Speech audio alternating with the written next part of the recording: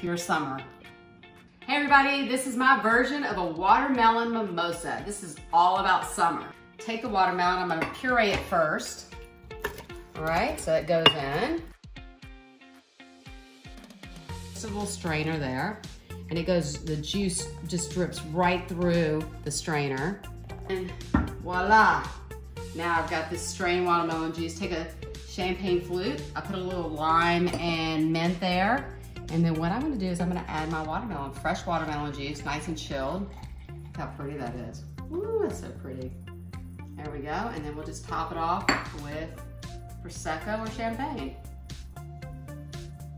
It's beautiful. Wow, look how pretty that is. And there you have it. This is my version of a watermelon mimosa. That is pure summer.